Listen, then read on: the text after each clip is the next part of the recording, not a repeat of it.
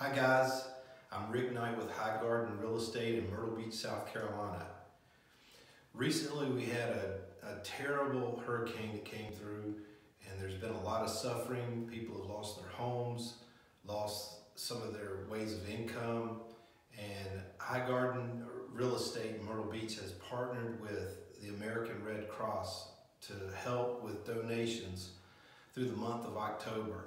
So I'm reaching out to you to uh, please help us and make a